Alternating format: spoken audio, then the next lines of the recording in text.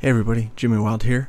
Uh, wanted to do a quick Borderlands 3 video today, uh, talking about save files and moving from uh, Epic Games to Steam, or from uh, Steam to Epic Games if you want to do that, um, or even if you just have two computers and you want uh, your save games to transfer transfer between the two, because right now the cloud saves are not working, and I don't know if that's something that's coming or or if it's just broken right now or it's designed to be broken. But at any rate, uh, if you want to be able to play on different computers and on different platforms, I want to show you how to move your save files and it's actually really simple. So let's get into it.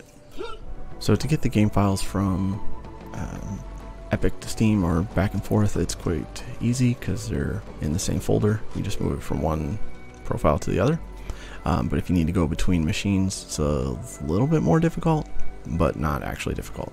Um, you can move to OneDrive, you can copy them to a NAS if you have one, or um, Dropbox, or put them on a flash drive and, and move them from machine to machine. So there's uh, plenty of options to get them around. Um, but if you're just moving from Epic to Steam or back, and they're in the same folder, um, they'll just be two different profiles. You'll see those two long strings of letters and numbers, um, and just move them back and forth between the two. Okay, so on the left, you can see uh, this is a save file for Epic Games, um, and you can see where it's located here. That'll be in the users, whatever your login name is, documents, my games, Borderlands 3, saved, saved games. And then you want to look for the long string of letters and numbers, and you'll see a profile.save. And if you have a character, you will see one.save or a two.save or something like that. But anyway, so uh, on the left is Epic Games, and all I have is a profile. I don't have any characters on there. You can also see here, there are no characters.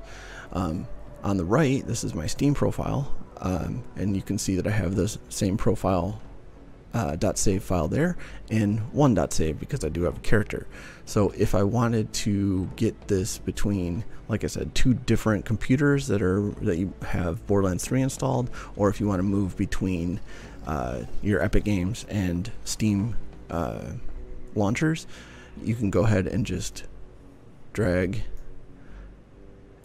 and copy your one dot .save and your profile.save if you want to. Um, either way is fine uh, your profile.save keeps uh, the, like your options in the game, uh, resolution, um, and any of your option choices. So, um, anyway, so let's go ahead and quit the game. And then let's go ahead and start it back up now that we got our one.save in there.